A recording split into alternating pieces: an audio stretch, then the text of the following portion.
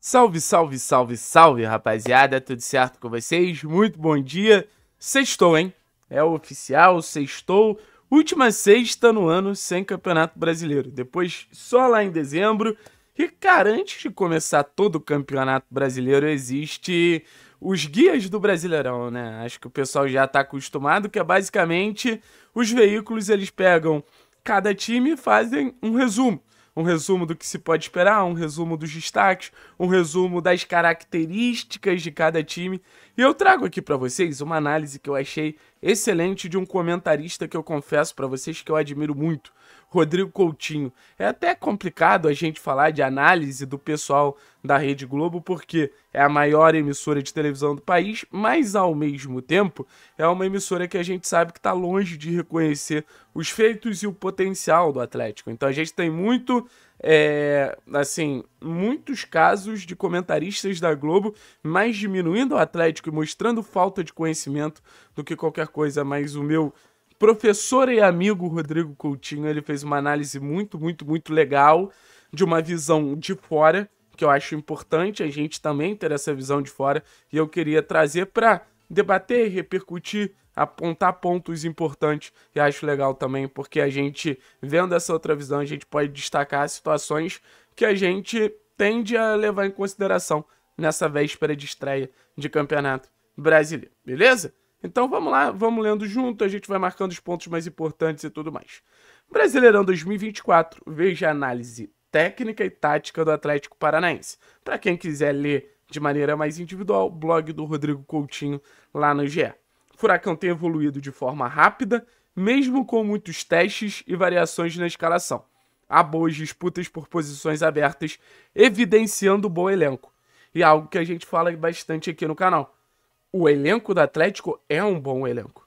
A gente às vezes pega pesado com alguns jogadores, a gente cobra mais aos jogadores, mas quem olha de fora percebe que as opções que o Cuca tem para montar a equipe são boas opções.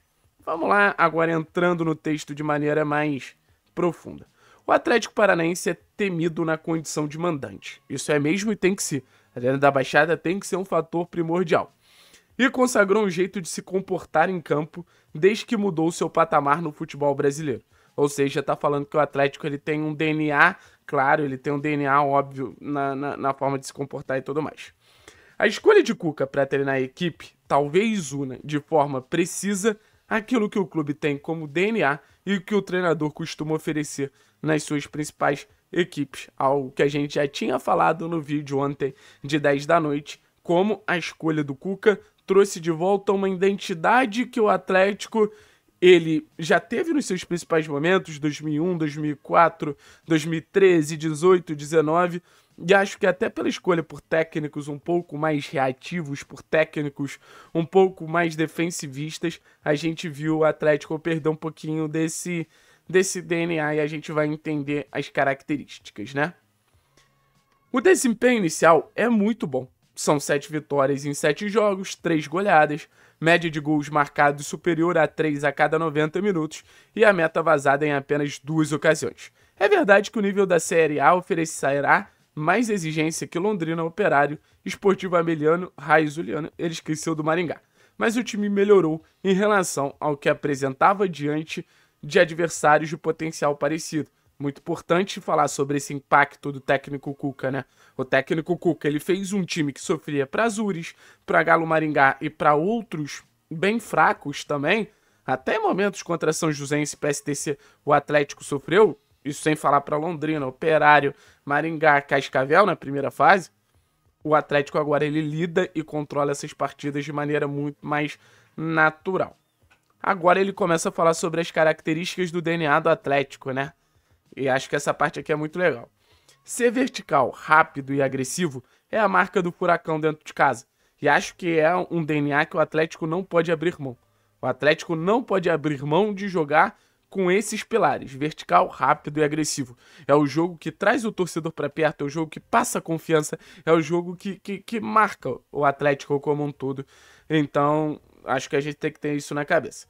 Em vários dos importantes títulos conquistados nos últimos anos, isso se faz presente.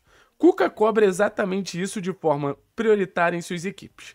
Nos melhores trabalhos que fez na sua carreira, comandou times que sufocavam os rivais em diferentes momentos da partida. E sufocar, você pode sufocar com bola, gerando volume, pressionando, criando a todo momento, e também pode pressionar sem bola, tentando recuperar essa posse o mais rápido possível e a partir dali você já atacar novamente. Recupera a posse e ataca novamente. O clube resolveu apostar no retorno dele ao futebol após curta e conturbada passagem pelo Corinthians. Enfim, falando sobre o caso pessoal do Cuca, acho que nisso, nesse momento não convém. Falou sobre a carta aqui. Uh, vamos lá. Vamos lá, vamos lá, vamos lá. Observa as reações de Cuca e repercussão perante esses acontecimentos. O fato é, o time tem evoluído de forma rápida, mesmo com muitos testes e variações feitas nas escalações até aqui há boas disputas por posições abertas, evidenciando o bom elenco rubro-negro. E é uma verdade. Primeiro de tudo, que o Atlético não tem esse time titular fechado. A gente tem até uma ideia, tem até uma espinha dorsal com Bento, com Thiago, com Godoy, com Esquivel, com Fernandinho, com Mastriani, com Zapelli. Mas no final das contas, time titular, titular, eu acho que o Atlético ainda não tem. Tem seu lado positivo da concorrência que obriga todo mundo a ser melhor, mas também eu acho legal você ter esse time titular pelo menos desenhado ali na sua cabeça. Vamos lá. A principal delas talvez esteja no comando de ataque. Ele vê uma situação aberta ali no comando de ataque. Eu não vejo. Mastriani, para mim, é o titular. E, na minha visão, Pablo é o reserva. Mas vamos ver a visão dele sobre essa disputa. A principal delas, a, principal da disputa talvez seja no comando de ataque, mas Mastriani foi contratado para ser o titular e já fez 7 gols em 11 jogos mas Pablo tem recebido minutos de Cuca. Balançou as redes cinco vezes nos últimos seis jogos em que foi utilizado. Consegue entregar mais participação fora da área e faz movimentos que criam espaços na infiltração, algo muito trabalhado pelo treinador é importante a gente bater na tecla que o Mastriani também vem fazendo esses movimentos. Acho muito importante o Atlético entrar no Campeonato Brasileiro tendo Pablo e Mastriani apresentando o mais alto nível. Acho que poucos times da Série A têm dois atacantes em um momento tão positivo. Então dá para dizer que Mastriani e Pablo são um diferencial para o Atlético. Um diferencial que o Cuca vem sabendo utilizar de forma muito efetiva. No meio-campo também é uma vaga em aberto. Fernandinho e Eric são titulares e Christian é o terceiro elemento mais utilizado. Beleza? Concordo totalmente que Fernandinho e Eric são titulares e que o Christian também faz parte desse setor. Há, porém, a presença de Zapelli, que entrega características mais criativas ao setor. Cuca chegou a escalar os dois, com Christian partindo de uma das pontas, mas o rápido Julimar é outro que vem crescendo sobre nova direção. O Zapelli, para mim, vai ser uma referência desse Atlético ao longo do Campeonato Brasileiro, tá, gente? O Zapelli, para mim, vai ser assim, uma referência técnica, uma referência de qualidade, uma referência de um jogador que, que desequilibra a favor do Atlético, uma referência de um jogador que traz o jogo do Atlético para um, um, uma alcunha de, de, de um jogo mais qualificado, um jogo mais refinado. Eu acho que a tendência é o Atlético partir para essa escalação de Fernandinho, Eric, Christian e Zapelli. Que inclusive para mim esse meio campo é o principal setor da equipe. Aí tem aqui um campinho que ele trouxe. Ainda há Coelho e Alex Santana correndo por fora na disputa. Canobi é outro com vaga certa. Concordo que para mim, nesse momento, Canobi seja titular absoluto. Foi usado de diversas maneiras por Cuca pelos lados ou pelo centro. Eu gosto mais do Canobi segundo atacante do que o Canobi ponta. Acho que mais perto do gol, ele naturalmente vai ter mais chance e a gente sabe que o Canobi precisa de um alto índice de chances para acabar é, ajudando com gols e com assistências. Então, vamos botar onde ele cria mais. Na direita, Léo Godoy e Madison têm se alternado e protagonizam mais um duelo por um posto na equipe. Acho que o Godoy é titular. O mesmo se aplica à zaga que Pedro Henrique Kaique Rocha para compor a zaga com o capitão Thiago Eliano. Olha que ele nem cita o Gamarra, né? Numa possível escalação de três zagueiros, agora sim, algo já testado por Cuca, o Paraguai Gamarra ganha espaço por ser canhoto. Seja qual for a plataforma tática adotada, o Atlético vai trabalhar com muitos passes em profundidade e a inversão para os laterais em progressão. Aquilo que a gente conversou ontem também, sobre verticalidade. E os laterais são fundamentais na construção desse Atlético. Tanto o Lucas Esquivel quanto o Léo Godoy são jogadores muito criativos pelos lados, são jogadores que criam muito jogo, geram muito jogo, muito seguros defensivamente. Acho que se você for pegar todos os laterais da Série A, o Atlético tem um diferencial ali nessas duas peças. Uh, não terá troca de passes durante muito tempo até chegar a rival. Um jogo mais cadenciado que eu acho que em até alguns momentos a gente consegue ver. Já estamos na reta final, tá, rapaziada? Falta, faltam alguns parágrafos aqui, mas acho que o conteúdo é muito de qualidade pra gente, pra gente não trazer. Acelerar a construção no gramado sintético da arena é algo que costuma funcionar. Fora do gramado da arena também, mas beleza. Outra arma, intensidade nos encaixes de marcação, aquilo que a gente sempre falou dos encaixes individual do Cuca. Cuca tem implantado na equipe esse modelo. Cada jogador tem um alvo inicial e cada jogada persegue tem um alvo inicial a cada jogada e persegue esse adversário até o término dela. Isso faz com que os adversários sejam vigiados mais de perto, mas por outro lado, abre lacunas em determinados setores. Eu não gosto muito de marcação individual, não, prefiro ou mista ou por zona, mas beleza. Caso algum jogador perca um duelo individual, um efeito cascata pode se formar aproveitando esses espaços. Fernandinho tem sido importante ao orientar os companheiros nesse sentido e no que tem acrescentado até mesmo fisicamente com a gestão de minutos correta, entrega intensidade nas disputas de primeira e segunda bola, além dos tradicionais ótimos passes. Tá muito claro que eu acho que o mundo fora do Atlético vê o Fernandinho como essa grande referência, né? E acho que ah, por tudo que construiu o Fernandinho é essa grande referência.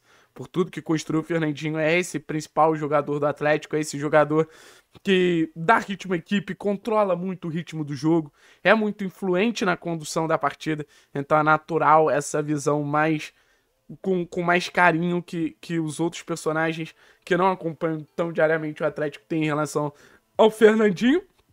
E assim, quem acompanha o Atlético mais diariamente também tem o Fernandinho como uma peça como uma peça fundamental ali e, e vem crescendo de rendimento, né? Isso é muito importante. O momento do Fernandinho é excelente. Outro destaque individual, o goleiro Bento em alta após duas boas atuações como titular da seleção, é certeza de segurança. Ele destaca aqui também o Léo Link, mas o reserva dele, Léo Link, sempre tem grandes rendimentos e quando, os, quando o substitui, parece pronto para assumir a posição aos 23 anos. Muita velocidade de reação e envergadura. O Léo é ótimo mesmo. A equipe tem se fortalecido nas últimas semanas nas bolas paradas, interessante tanto na área rival quanto na própria. O Thiago Heleno vem sendo fundamental nisso, né? Aí ele lista aqui alguns jogadores: Eric, Thiago Heleno, Kaique Rocha, Pedro Henrique, Mastrani e Pablo são os principais cabeceadores. Mas acho que na bola parada defensiva o Thiago vem sendo. O Thiago vem sendo acima da média. Na bola parada ofensiva eu gosto muito do Eric. Aí para terminar, né? Inserido em um grupo frágil na Sul-Americana, o Atlético tem tudo para mesclar jogadores e ter força máxima nas primeiras rodadas de Campeonato Brasileiro, deixando claro que o Atlético pode se concentrar nas primeiras rodadas de Brasileirão. Rapaziada, achei um texto muito completo. Fala sobre fase defensiva, fala sobre fase ofensiva, fala sobre bola parada. Então, assim, olha como um analista de fora, que não necessariamente acompanha sempre o Atlético, vê tantas qualidades, tanto em questão de elenco, tanto em questão de movimentação, individualidade, coletivo. É um recado até para vocês terem um pouquinho mais de confiança nesse Atlético. Esse Atlético é uma equipe que eu tenho certeza que tende a se afirmar ainda mais ao longo da temporada, crescer ainda mais ao longo da temporada. Mas o Atlético que entra com boas armas e mais do que isso, com boas armas, vivendo um bom momento para esse início de competição, para esse início de Campeonato Brasileiro. Tá bom, pessoal? Tamo junto, é nóis, forte abraço, valeu!